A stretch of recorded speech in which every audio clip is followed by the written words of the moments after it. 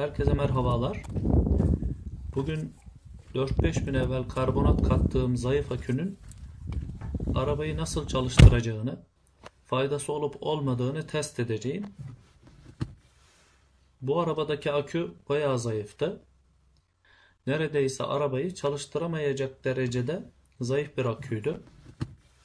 Yani akünün değiştirilmesi gerekiyordu. Ee, karbonatı her bir bölmeye çok az bir şekilde kattım. Yani yarım çay kaşığı kadar kattım. Havası şu an 2-3 derece civarı. Ee, geceleri ise eksi 5, eksi 15 derece olabiliyor. Bu da arabayı çalıştırmayı zorlaştırıyor. Bakalım faydası olmuş mu, olmamış mı? Hep beraber göreceğiz. Şimdi arabayı çalıştırıyorum.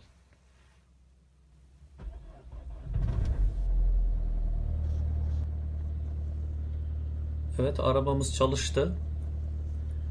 Eskisine göre çok çok iyi durumda şu anda. Bu arada şunu da söylemem gerekiyor. E, aküye saf su da ilave ettim. Ve bu aküyü ben 5-6 senedir kullanıyorum. Evet şu anda bayağı iyi durumda. Ne kadar bu şekilde devam eder tam bilmiyorum. Aküye bayağı faydası olmuş. Hayırlı günler dilerim.